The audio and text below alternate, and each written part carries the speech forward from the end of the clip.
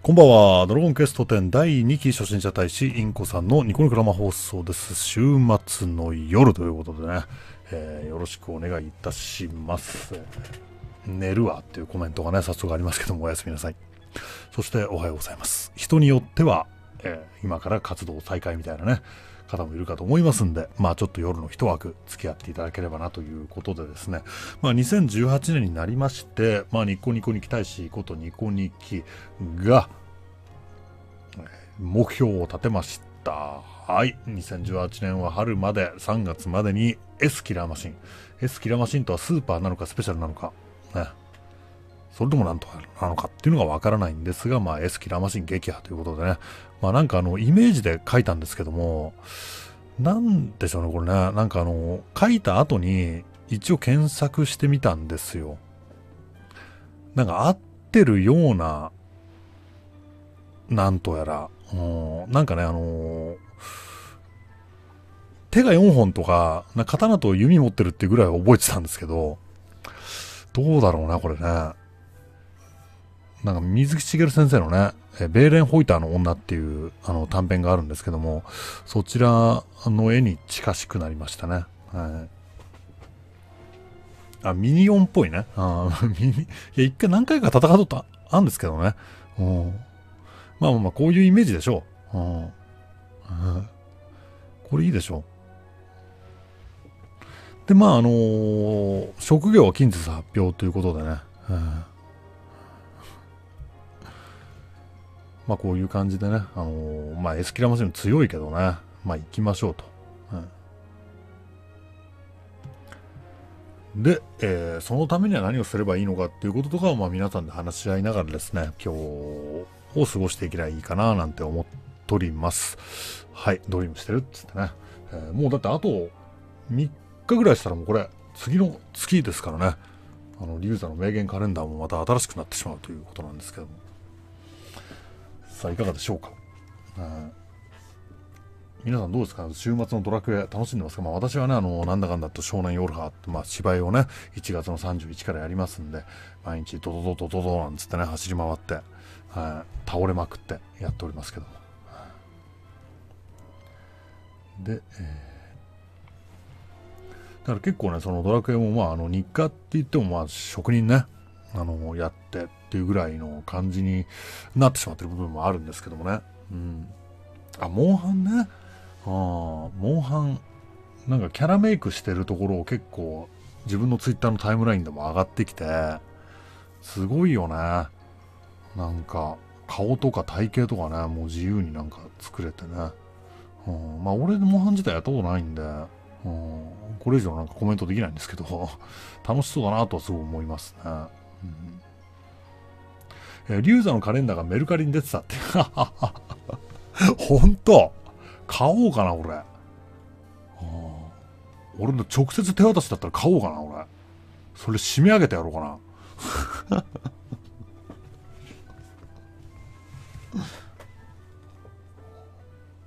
いくらぐらいで出てたんですか？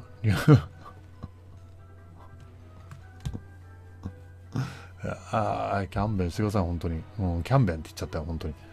うんご勘弁をということで。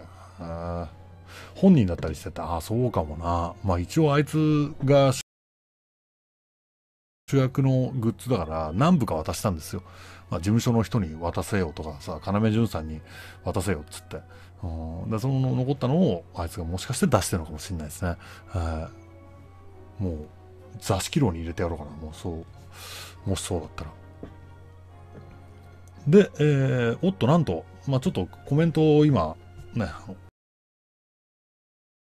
遡ってますけども、神戸のヨースピ散歩行ってきました。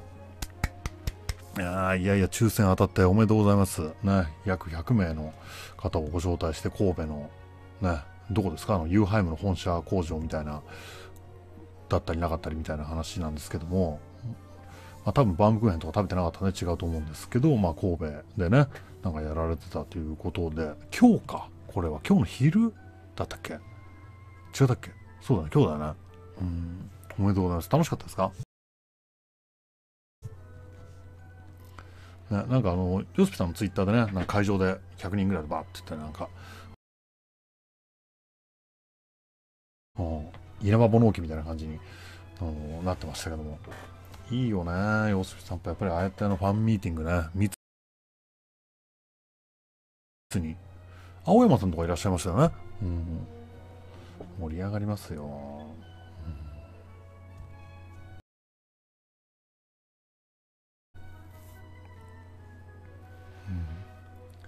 って行ってきましたって方は何人もいらっしゃる。もう楽しかった。おお、よかったね。うん。サイピーがめっちゃ細かった。ああ、そうなんだよね。その、結構大使のね、まあ、例えば俺も、生で会うとでかいですねとか、うん、もうアーミーなんて顔見えないですねみたいな。もうで、でかすぎて。で、パースがかかって結果的になんか小顔に見えますよみたいな。アーミーがね、こう、下から見ると。ってぐらいまあ結構その実際の身長とかそういうのとかあるし例えばリーナちゃんとかやっぱりモデルねあの体型っていうのは一発でやっぱ上がりますしもうね遠目で見ても骨格が違うよみたいな感じ、うん、っていうのもわかるし、でもサイピーとかもね、なんかあのー、結構ちょこちょこちょこちょこしてるイメージあるじゃないですか。でもやっぱりね、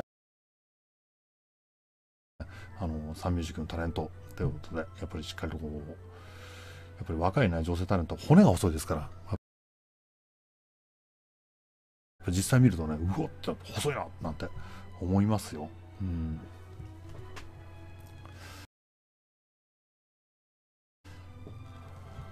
で、えー、行ったのあとは大山とベッティだ。あで、神戸でベッティがまたやらかしていた。ああ、まあやらかさない日はないからね。まあ一応聞きますけど。どんなやらかしだったんですか？ねちょっと、まあ一応参考までに、はい、聞いておきたいですね。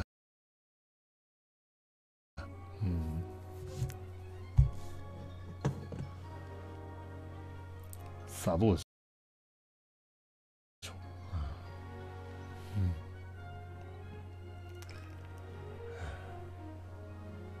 やらかしいそれ。やらかしたっていう単語だけは聞いてるけど。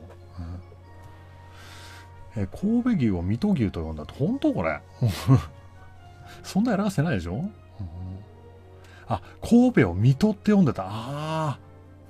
それは、ちうねと読めない、読めないみたいな感じのパターン？神戸を水戸か。そりゃ結構、結構だね。ああ。ああなるほどね。いや、そ、しかも、割と新しい解釈だね。神戸を水戸。まあまあ、おみきとかって言うからね。神をこう、水戸書くみたいな。うんただまあ神戸初めてっていうその初々しさで許してやってください。はい。うん、読めなくもない。そうそうそう。うん。紙と、うん。で、まあ、あるい最近ベッティ良くない笑いを追求してる。まあ、そんなことねえだろ。そんな、そんな何個も何個もそんなさ、あの、具体例ある？その、なんか、さ、それなんかひとまとめにしないでもらえますかね？わかんないけど、俺別に、あの、ね、アリーナ189番の方。まあ、俺以上に、まあね、あの、磯部のこと見てる方かもしれませんが。えー、そうか、でもね、水戸ね、うん。いいじゃないですか。うん確かにね。まあでもそれはまあ、やらかしっつっても大丈夫ですよ、そんなの。なんか、俺もっとなんか水道管破裂させたとかさ、なんかそういう感じだと思ってさ、うん、全然いいでしょ。うん、神戸を見とね。いいでしょ。はい。ね。いや、でも楽しかったな、何より、皆さんね。うん、なんか何やったんですかね。うん。ま、内容とかあんまり詳しく書,、ね、書くとあれかもわかんないですけども。まあまあまあ、あの、ね、洋介さんのツイッターでもね、すごく楽しかった、盛り上がったっていう話だったんで、うん、いいじゃないですか。うんあ、バトルチャレンジね。そう、だからバトルなんですよ。まあ、我々のニコニキもね、まあ、エースキラーマシンを、えー、倒さなきゃいけないということなんで、まあ、バトル今特化しなきゃいかんということで、まあ、今日なんて昼ね、まあ、俺稽古に行ってきたんですけどもその前にあの魚事務所のねリュウさんのところが配信しててスライムレースやってましたよね。途中で俺あの出かけてたんだけど、うん、そうスライムレースも始まってるしね。実はまだやってないんですよ、うん、行かなきゃなんて思ってて、うん、でその前にやっぱりバトルバトルじゃないのかっていう話を今日は、まあ、ちょっとやろうかななんて思っておりますはいうん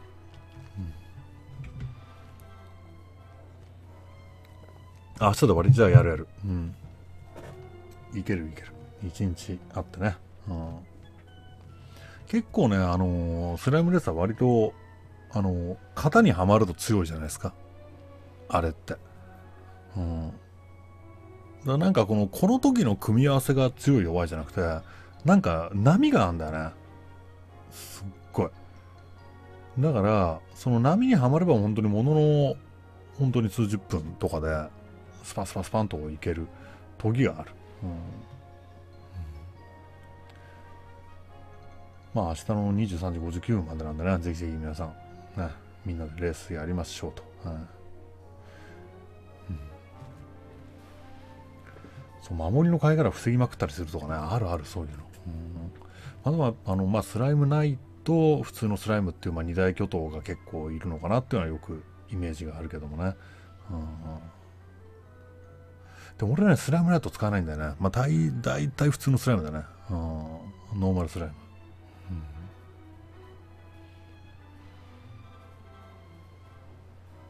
さあ、まあ、そんな感じで、まあ、やっぱり S キラーマシン、うん、行きましょうよと。まあ、仕様変更されたっていうなんかコメントもね、ありますけど、まあ、そうなんだね。うん。あ、全キャラね、やっぱりやった方がいいし。バブルで95万いったらすごいですね。うん。いいじゃないですか。では、今日は、まあその S キラーマシンの様子見と、まあ傾向と対策、まあなんかあの、召喚したあの爆弾、鳥爆弾みたいなものをこう近づけさせないために、ね、ブロックをしなきゃいけないってのはわかるんだけど、インコさんはニコニキでは一度レース配信したことあるが、個人配信でしないのはなぜ？ああ。いや、な、なぜとかないけどね、なんかよくね、結構まあ本当にこういうニコ生配信とか、えー、ドラクエのゲーム配信して数年もう経ってますけど、大体その、なんか、なぜ〇〇なんですかってことに対しては、まあ本当になんか別にあなたを責めてるわけじゃなくて、ありていに言うと、いや、そんなものなぜも何もねえよっていうことでしかないですね。うん、思い出したらやるし、その時に声を聞いたら、じゃあ行っておくかみたいなね、うん、のもあるしね。まあでもそれがすごく気になって夜も眠れず、ね、もうなんか枕を濡らすみたいな方だったらどうしようかな。うん、そしたらレース見ますか？ね。もうまあでもこの好奇心がねどんどんどんどん、はものをこうなんか探っていくっていうのは俺は別に悪いことじゃないと思うんで、で、えー、今は鳥を無視して速攻討伐っていうのがエスキラーマシンのやり方。なるほどね、うん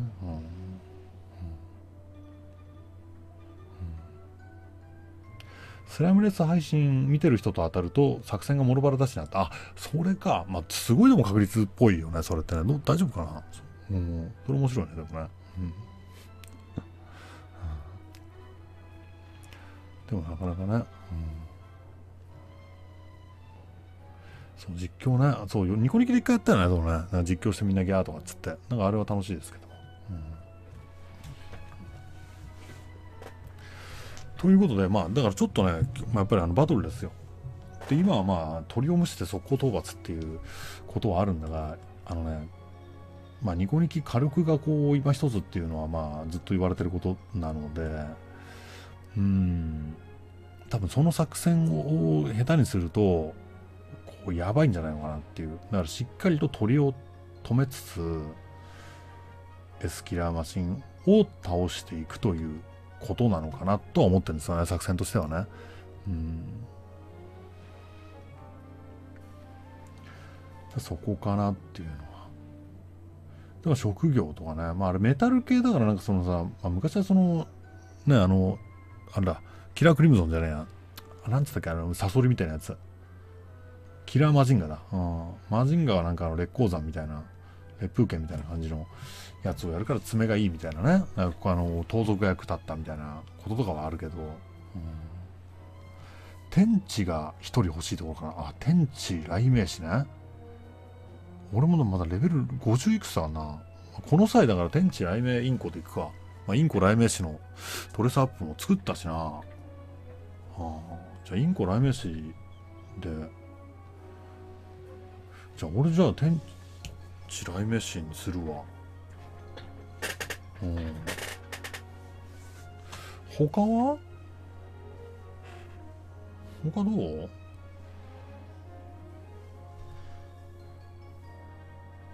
うん。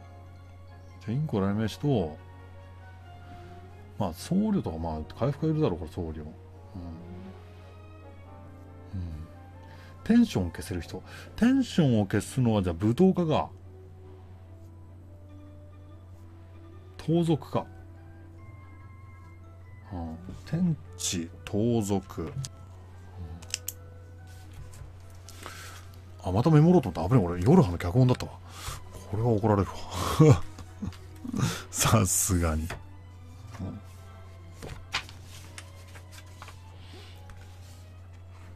う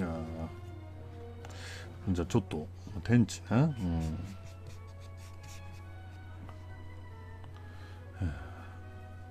とまあ僧侶はいる？まあ当たり前でいるわ。なじゃあまた龍座僧侶でいくか。でえー、爪弓爪と弓賢者。うん。賢者ね。賢者この間ベッティが育てたような気もしたな、まあ、一応じゃあこので魔物？使い？か盗賊 まあ一応これでちょっと投げてみるわニコニコにうん。あいつらも、なんか、こう、やりたくねえよとか言い出したりするからさ。うん。うん。マシン砲手ね。あとはね。うん。まあ、爪を打つのもいいでしょうというね、私が。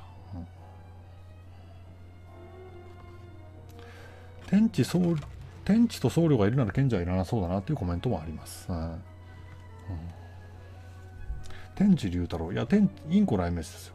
天地龍太郎はいないです。はい、大地秋太郎もいないです、はい。そんなコメントないです。俺が今考えました。龍座が僧侶、磯部が賢者、布子が天地、インコ適当火力でいいのではい、NG です。はい。あの、私の枠で、あの、私をそのミストカツみたいにしないでください。はい。えー、ブーメランでデュデュアルブレーカーをするとスタンが入りやすくなるという。なるほどね。うん。うん。まあ、俺が天地ラメじゃいいよ。もう俺が、もうそうするわ。うん。うん。で、えー、じゃあ、ベッティも賢者も悪くないかもね。うん。まあ、あとは、賢者がいらないってなったら、まあもう、まあ、ベッティに魔物とかね。うん、あいつはまあ魔物みたいなやつだからちょっとお前魔物使いになってみろよっていうのはまあ悪くはない、うん、こうなんかねあのベッティもこう火力がわっと出せればニコニコもこう新たな幅が広がるんじゃないのかなっていうのはちょっと思いますね。うん。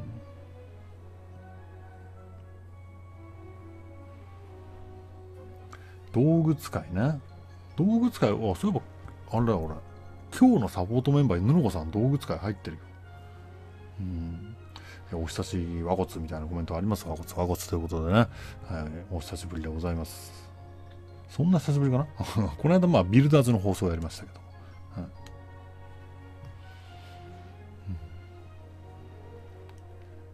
ブーメランレンジャーね、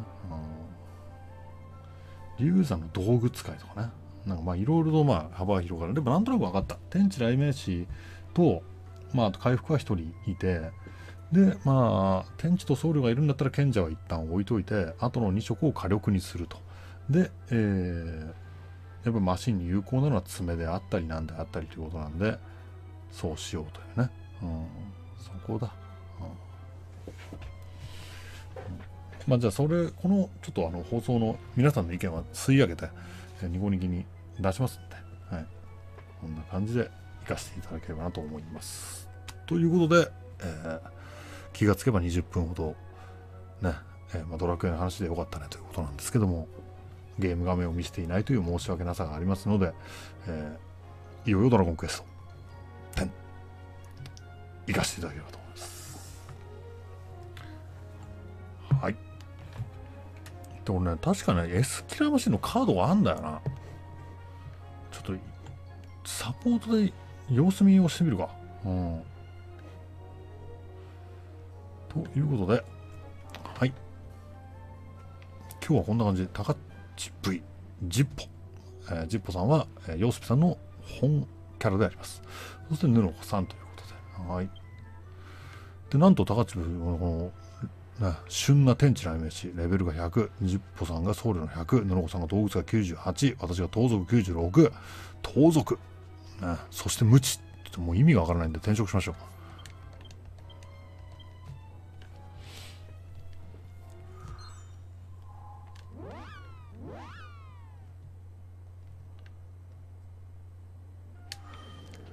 あれ、数えるじゃないか？数えるんだ。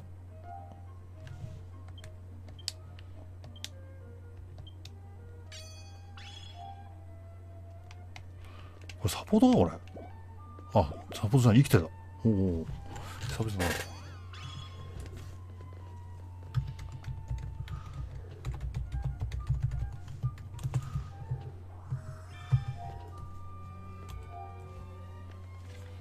おお。あ、ジャックポットが出て固まってる。そうか。またあれか。じゃあ一応。うん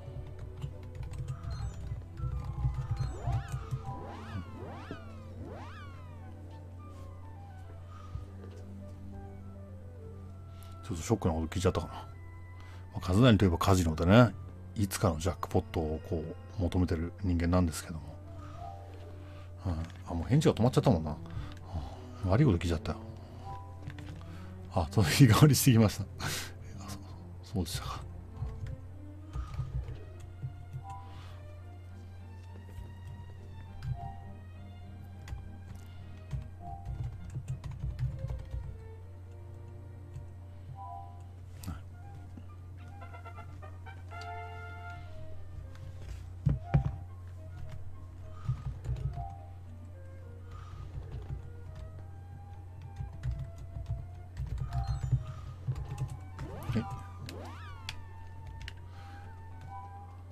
これからも狙い続けます。さすが、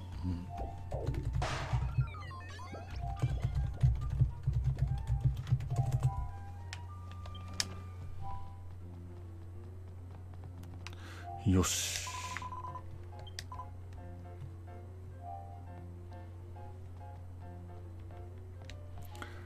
まあそあそうればいいのか。あんまりこれ S キラーマシンに言うのも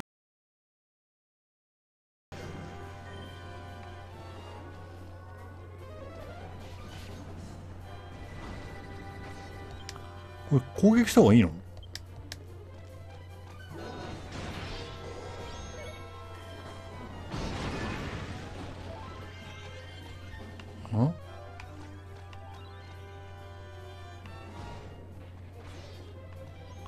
鳥を押してる時にエスキラマチ移しとかないと？ダメ？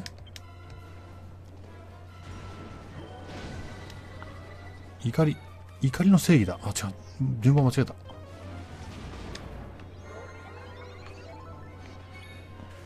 もう一刀両断はあれか。デッドソードみたいなやつか。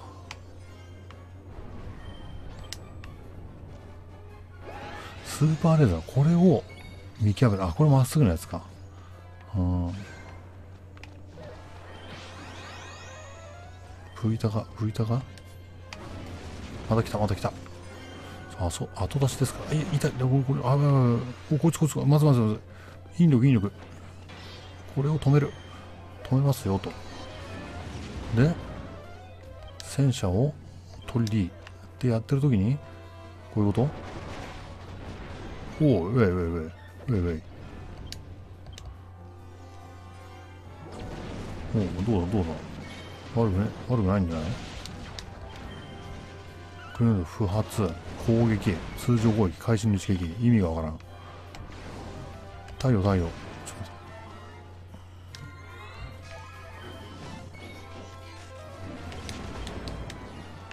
おいと鳥鳥増えすぎ。待って待ってうお。待ってこれは自分の FFFF FF FF 違う違う間違えた。いや今完全に間違えたよ。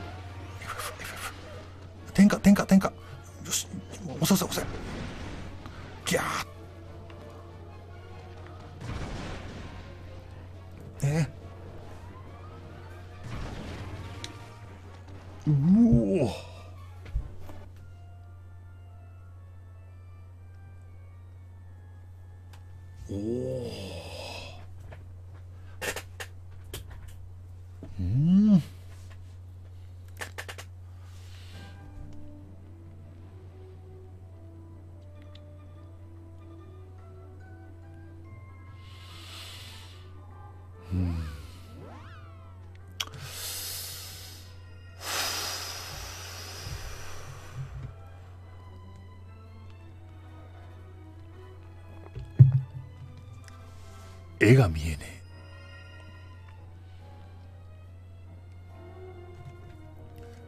こううまいこと言ってるような。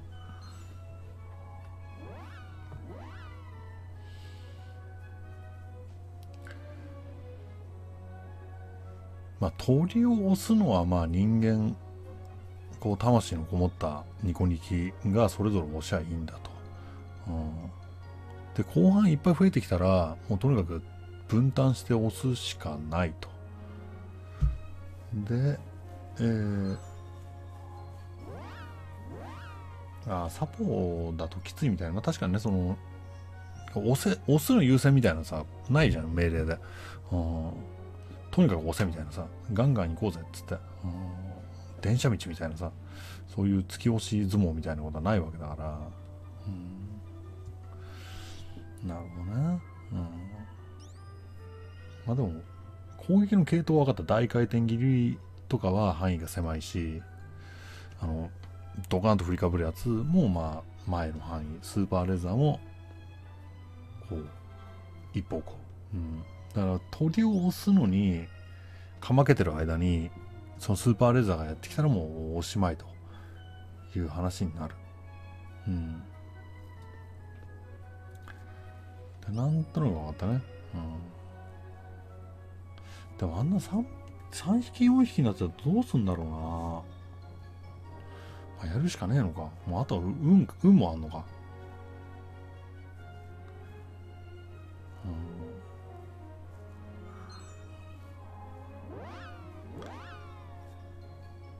鳥を攻撃して倒せるようになればいい。ああなるほどね、鳥か。なるほどな。まあでも分かったこれ押し中に本体が寄ってきたらどうすればいいのってあまあ立ち目のコメントね。まさに私も聞きたかったところですよ、うん、どうすりゃいいんだ？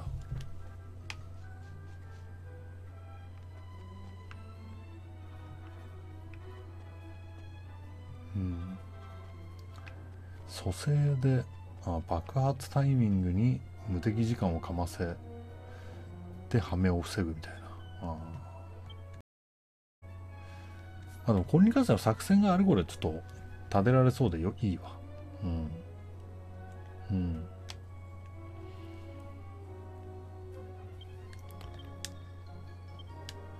じゃあちょっといっちゃいます？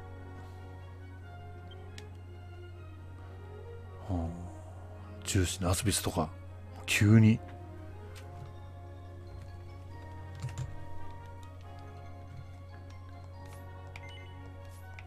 急にいっちゃうナスビス。ちょっと行ってみるか。あ。うん。今ならいけんだろ。うん。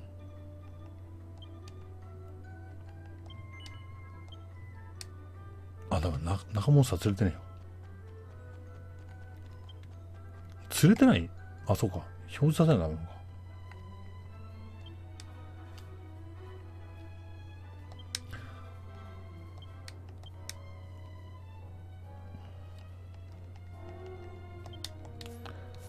いやでも装備的にどうなんだろうこれ。もどきスティックエンシェントタクト。円卓頭は新卓円卓新卓。でパールリング。いや違うな。白衣の指輪。これで魔導将軍でいいや。攻撃魔力系か。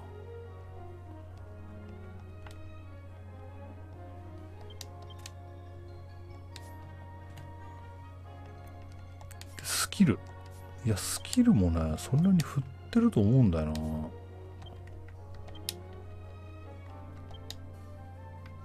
ん。あ振ってるわしっかり、うん、いけんじゃねえかこれ、うん、よちょっとナスビスだわこれ。これは。一旦な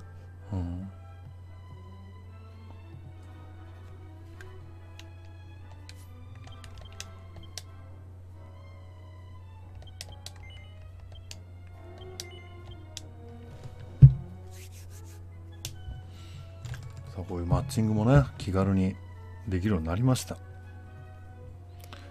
仲間を探しております。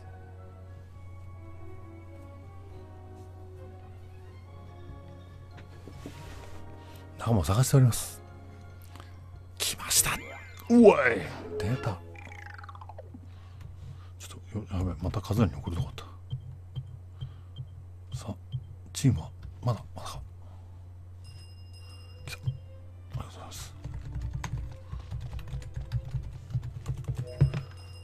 ルアーショーさんよろしくお願いします。やべ危ね出るとこあった仲間たちが揃った。よろしくお願いします。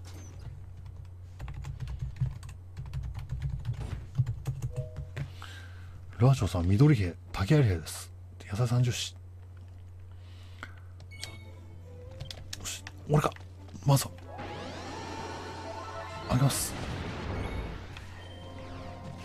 えちょっと待って。いけるか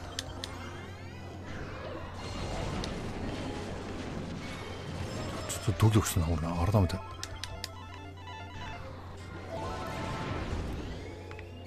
俺がかかっているもどきあれだなあんまあんまりちょっと飼い主に恥かかせないように頑張ってくれよ。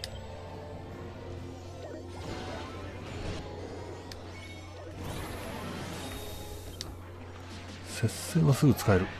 できるだけ。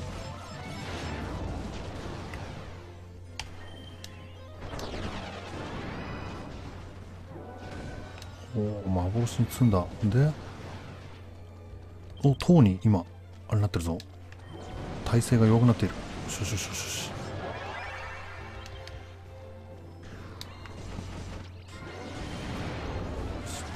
もうボコスか。さらりとリセットベル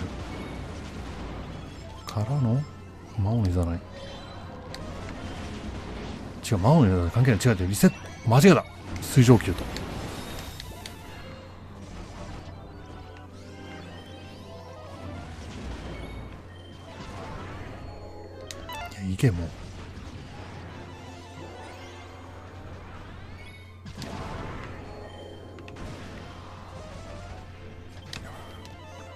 トマトス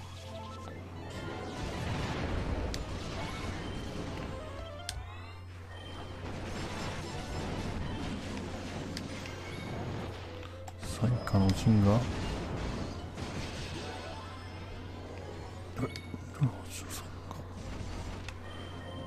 どうなんだ？これは蘇ったところに重ねて重ねて太陽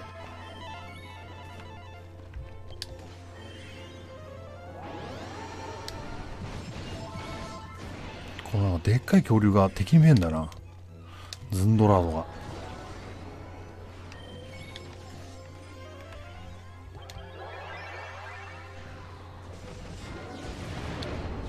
俺か？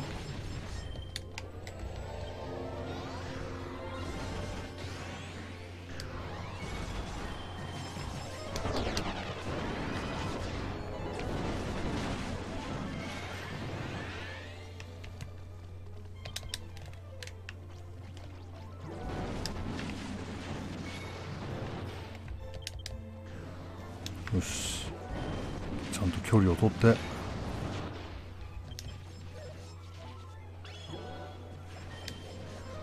ちゃんとくい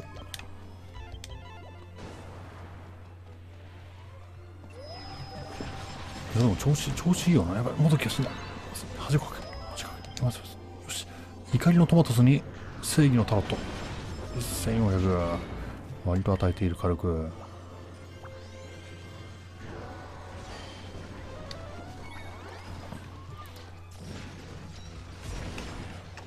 あとはキュリトスよしよしよしよしよし闇が下がったぞ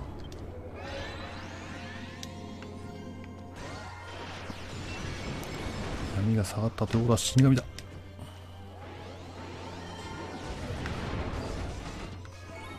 けるい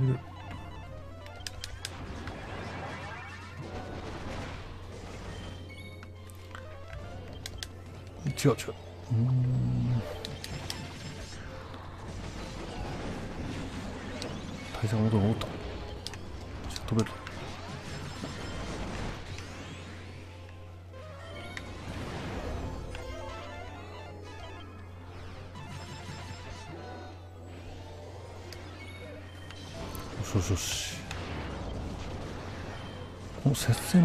外と今役に立つんじゃないのか。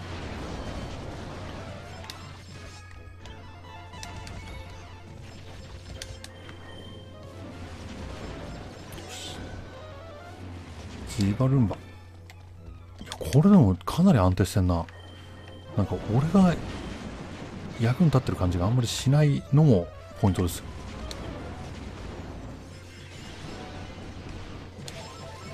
よしよしよし。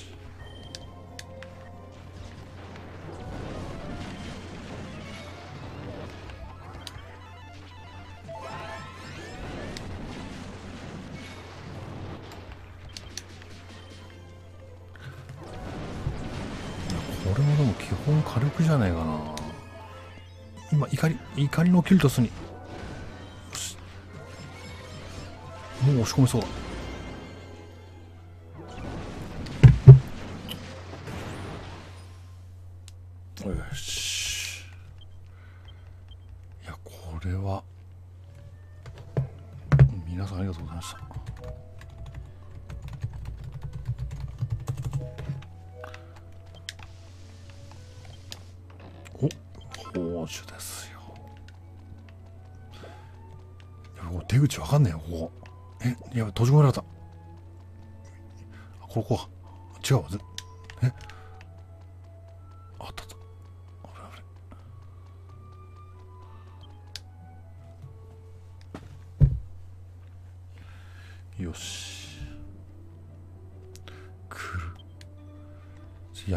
鑑定だな。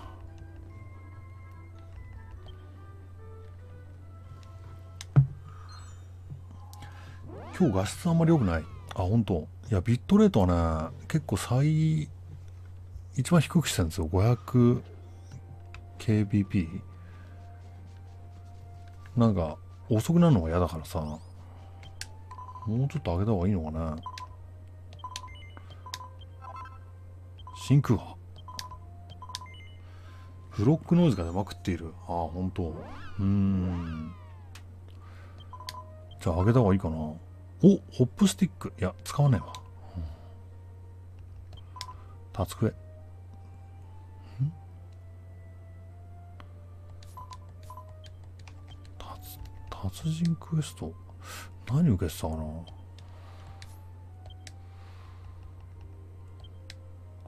うん。ラズバーン。魔法戦士。2分。いけっかな、これ。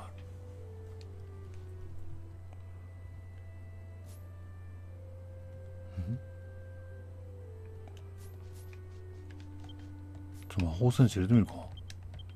いたかな、魔法戦士なんて。これいつのだって話ですけど、いや、結構最近ですよ、これ。キンキンですよ、キンキン。あの、ルパン三世がいたな。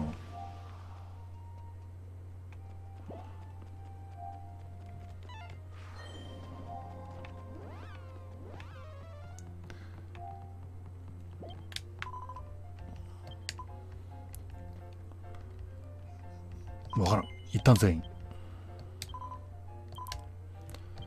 えー、フレンドから魔法戦士。魔法戦士いるかいた、リーナさんだ。即。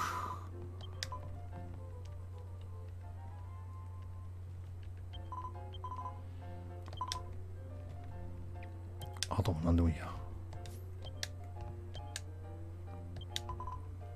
うん。再び。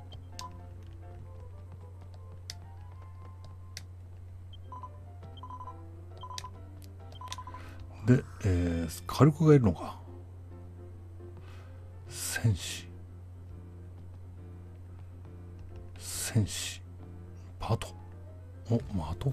久々だな。まとこさん行くか。でもあれか、俺が持ってないのか。はい、持ってんのか。いいや。サンデーさんだ。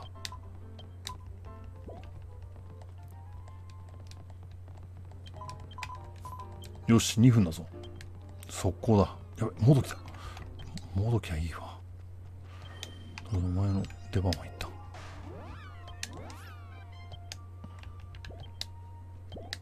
でも、魔線はがバッチリか。で、ラズバン。2分ね。行く行く。よし。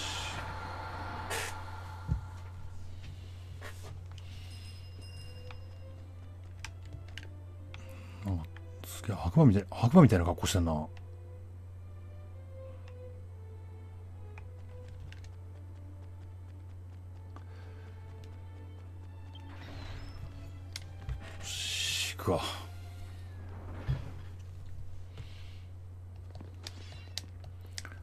一人も死んだらダメなんだっけ？ちょっとプレッシャーかんな。なんでモンハンやんないんですかっていやドラクエの放送だからとしか 言いようがねえっす。コメントが。ああー。あでもブブーってなんないから大丈夫だ。あんなローキックかわせねえわ。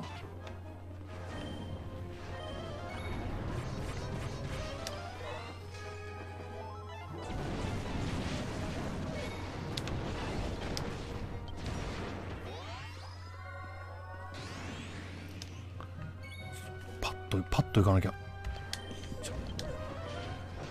闇の耐性が下がってる今。よし。雷。そして雷の連打。あこれ調子いいぞ調子いいぞ今日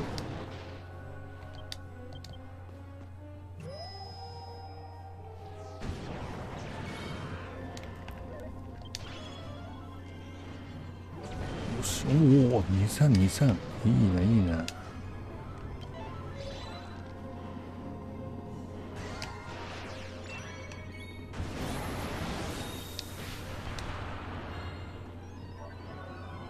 で、なんか、な、何下がってんだ？何下がってんだ？これか。うわ。いいけるいけるいける。こ押し込めるぞ、これ。おおいけいけいけ。かつてない強さ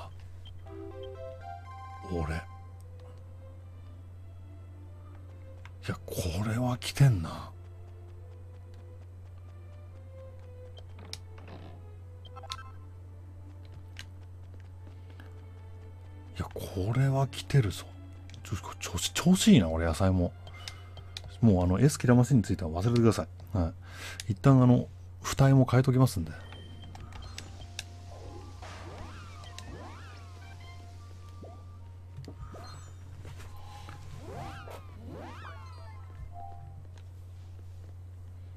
今ならエスキラいけるんじゃって、それで行ってまた同じ感じになって、あとりあえず、マーリン、マジシマーリン行っとくかみたいな。呪術師か。おい。あ、違う、当時じゃねえ石板だ。石板くれ。何があれだったかな。闇かな。闇石。よっしゃ。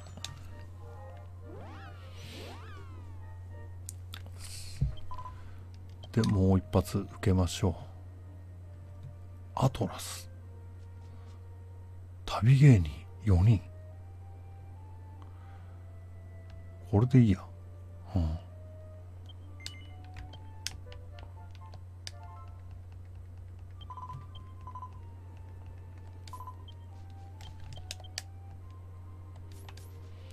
ついでにちょっと、もう今、倒しまえ。ヘル、ヘルレーザー。ヘルレーザーじゃなかったっけ？なんつったっけ？ヘルバトラか。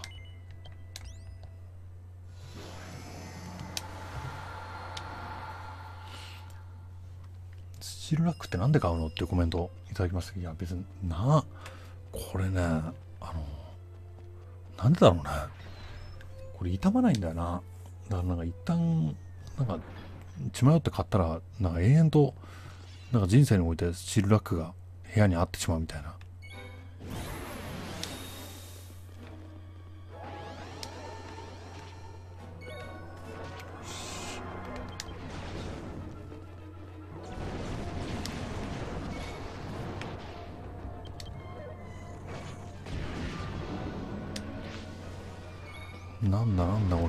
激怒。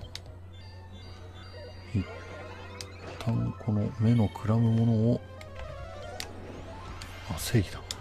まさにこの怒りのヘルバトラーにヘルバトラーのカードをやる。気持ちよさ。ダークマシン間に素早く倒しておく。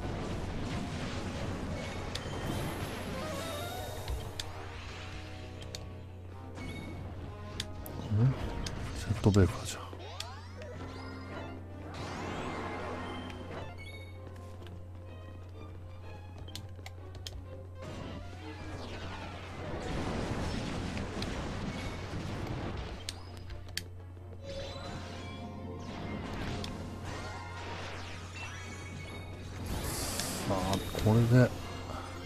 爆発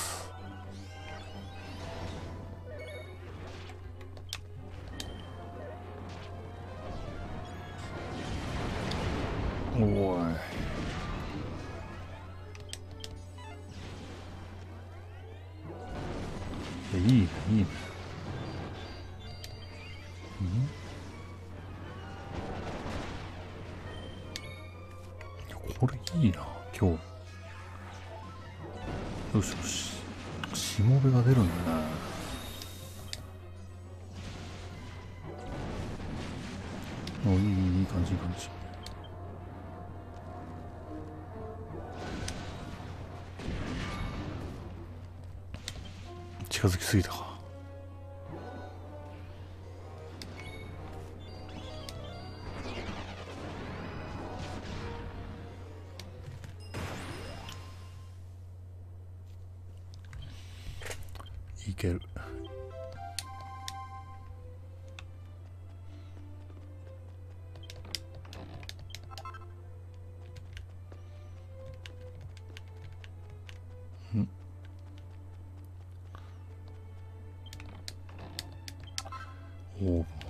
るしいいことずくめだなこれ。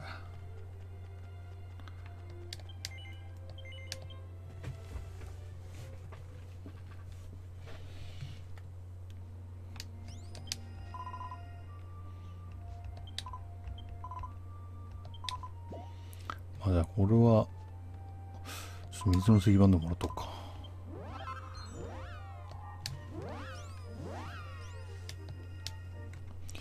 ということで、あとは鑑定タイム。おあ、結構、結構揃ってる。水の石板。なんだ？まあ、預けるか。入れるとしたらどこだこれ？左下？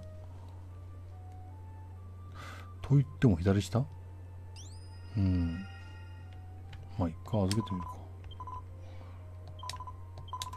軽い気持ちだった。いや、これいらね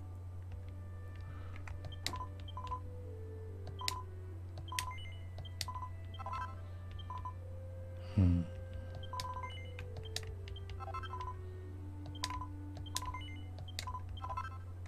う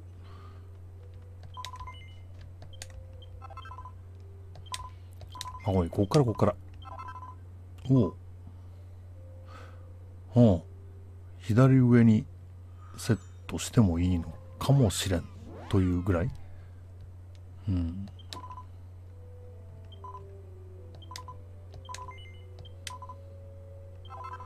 おこれなんかテトリスの便利棒みたいなのって好きなんだよね。これ右下どうですか？そう、そうでもないですか？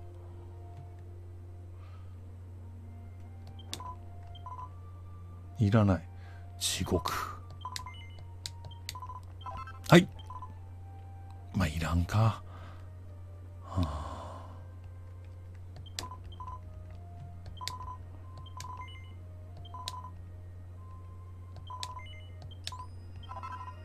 おまだテテトリン。いらんか。いや、左上か。ぽいぽい？ぽいかよ。ぽいかよ。だろ。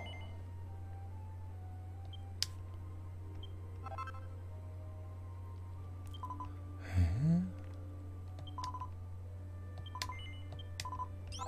ー？はい。あ、昔はこれ良かったんだけどな。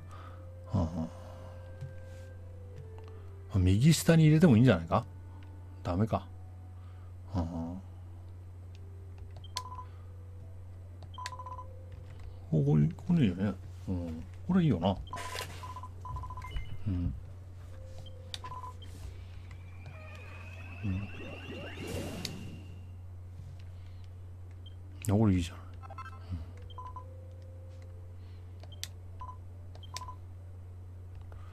ん、闇。で結構持ってんだよな。まあこれ、まあやがての天インコ雷鳴師のためにも今取り立ててなんもねえな。国流打ち総流打ち国流打ち縛り打ち無知ばっかり。足払い？は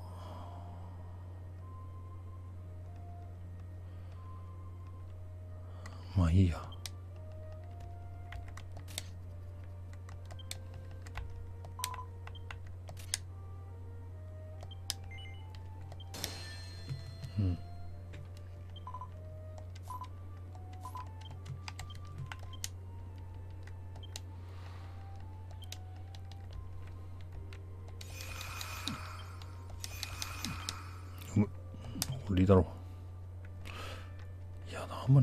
ガークロー使ったこともねえよ俺。なんでこんなもん埋まってんだ？ちょっと石板宝珠についてやんなきゃいけないな。うん。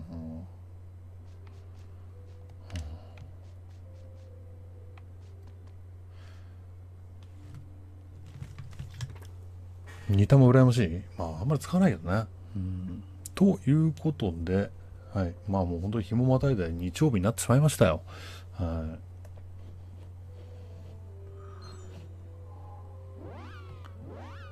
まあ、この後じっくりとスライムレースなんかをやりつつね、うん、やっていこうかなと思いますけど、はい、え、終わるのみたいなコメントあるけど、終わろうかななんて、はい。終わろうかなって思っとるよ。いや、終わらないよ。まあ、終わらないドラクエ。ね。はい。終わる個人配信っていうことなんで。あのちょっとね、あのまあ、個展がね、2月の9日からっていうことなんで、ちょっとそれの準備をあれこれしてるというのはあります。はい。レース配信してよ、たまにはって、これ多分、さっき言ってた人だな、これ多分な。あレース配信まだですか？の人が、レース配信たまにはしてよっていうコメントをまた送ってきたな。まあ、今度な。今度はドッグレースとか、なんかハワイかなんか行ってさ、うん、グアムとか、それな。うん、たまにはね、もうたまにはじゃあするわ。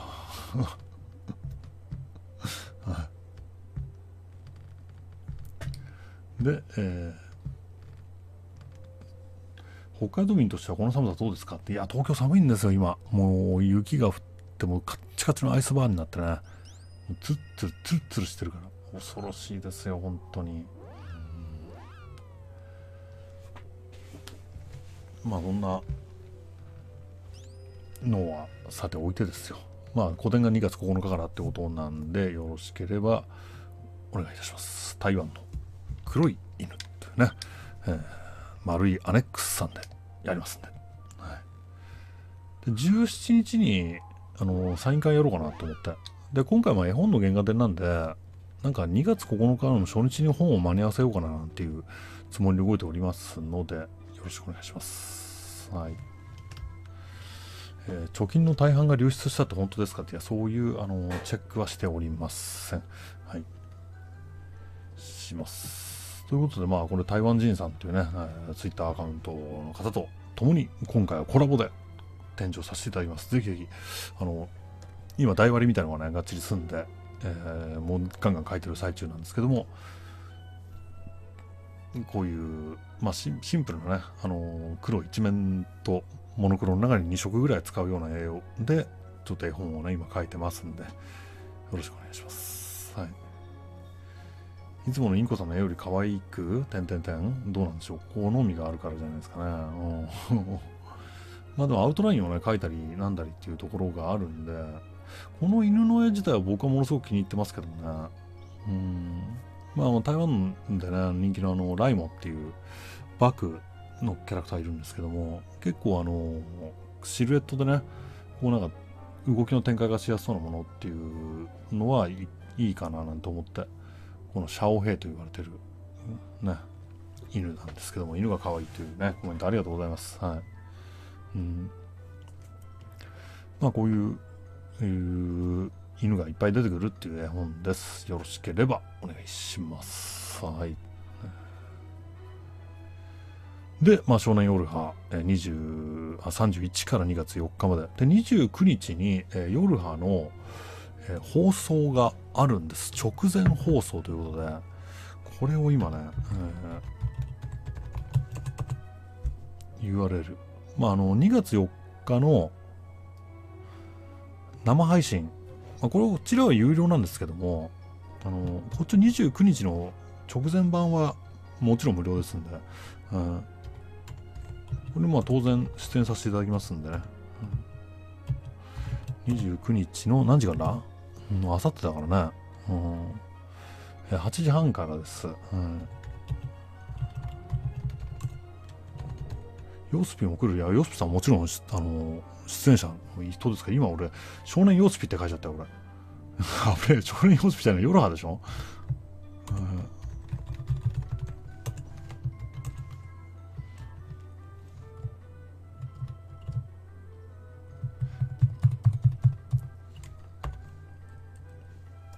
のバイザー司会どうなんですかって、いや、その、その辺も含めての直前番組、楽しいと思いますよ。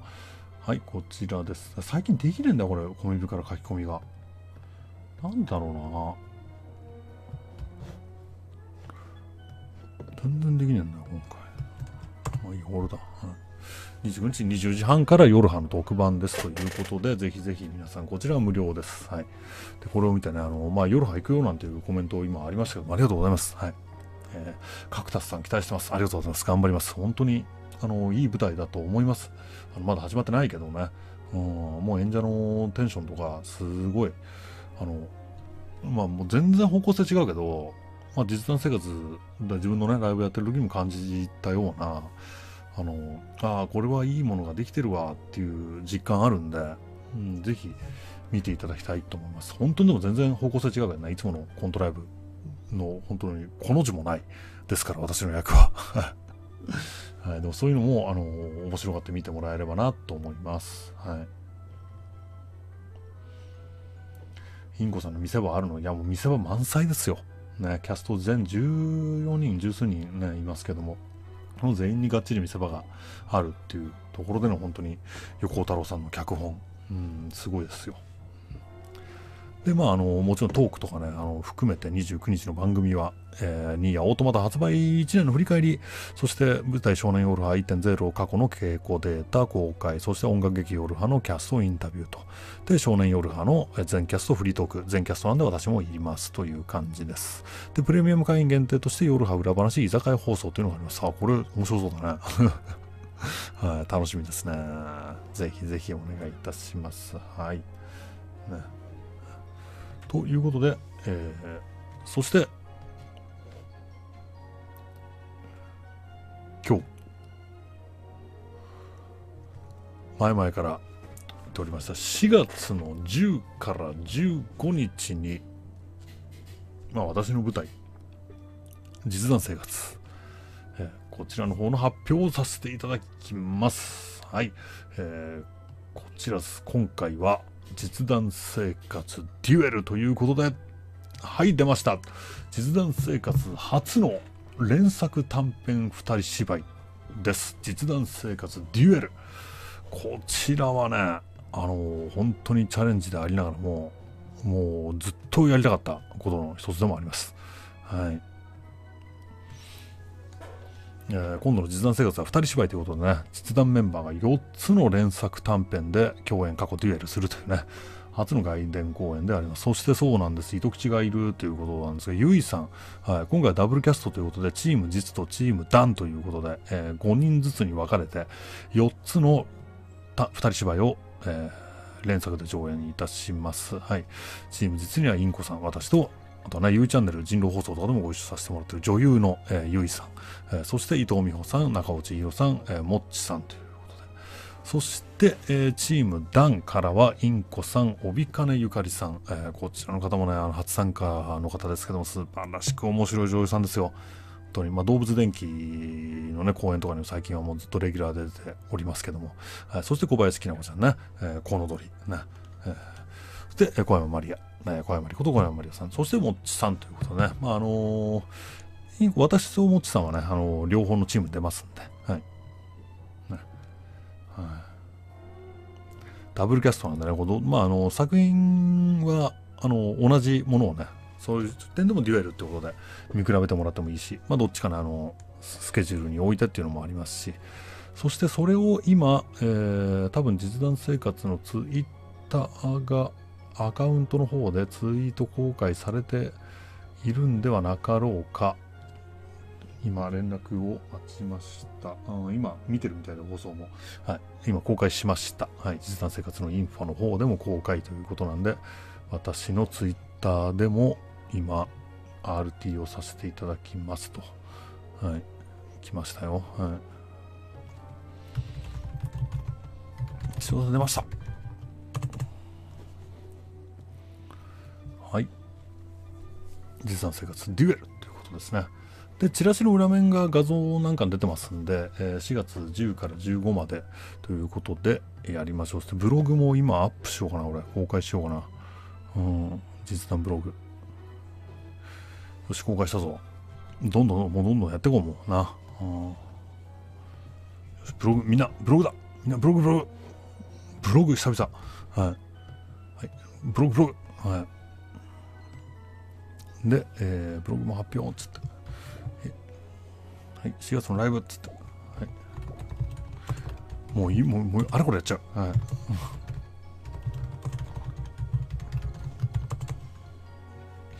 4月、えー、10から15まで。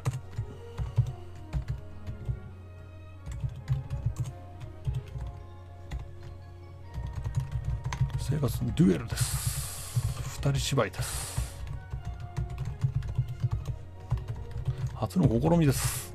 もうごめんなさい、今、あの、コメント終えてないです。なんで俺は今こんな、あの、バシバシバシバシやってんだ。すいません。もうガンガンやらせてくれ。もう今行く、今行く。よしよしよし。はいはいはい。はい。こんな感じ。もうどんどんどんどん出てきた。はい。はい。今日どっちのキャストも見たいっていうね、コメントありがとうございます。はい。いぶきが消えたなんていうコメントあります。リュウザが消えたみたいなね、コメントもあります。はい。大丈夫です。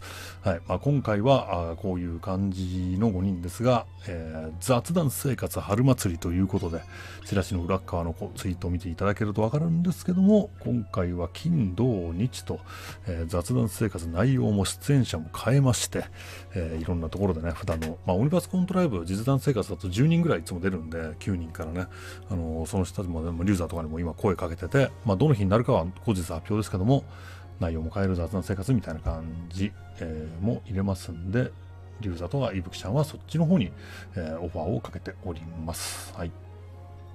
で年度の始まりながら全く予定が見えないってコメント、そうなんですよね。まあ、4月の頭とか3月下旬っていうのはそういう大変さはあるんですが、はい。ここは一つだから、ダブルキャストなんでね、ちょっとあのー、2回ずつ、あ、違うか、あのー、4回ずつしかないっていうね、それぞれのチームが。なので、あのー、もう見逃し厳禁という感じで。はい。え、インコさん両方出るんですかって、いや、出るよ。それは俺も、ちょっと考えたけど、あのまあ、出るよ、やっぱり。出させてくれや。責任取らせてくれ、俺自分のイベントだから。えー、大阪で面白かったから関東にも都合が合えば見に行きたいって、あこういうコメント、本当嬉しいわ。本当に。いやー、なんかね、こうやって書いてくれるだけで嬉しいですよ。まあ、実際、ね、あの、スケジュールがっていうのはあれだけど、本当にライブやっててよかったなって思うな、こういうの。うん。面白いものがね、生で見れたら、ね、まあ生で見れることってまあそんなになんかね、レア感演出するわけじゃないですけど、まあやっぱり、なかなかね、もう大の大人が集まってギャーとかね、やってることって、うん、割と結構ね、あの、なかなかできないことですんで、一回見逃したらもうその時は二度とやってこないっていう点でもありますから、うん、面白いなと思ったら、まあ、パッとなんか見に来てもらえるっていうのは本当に嬉しいですよ。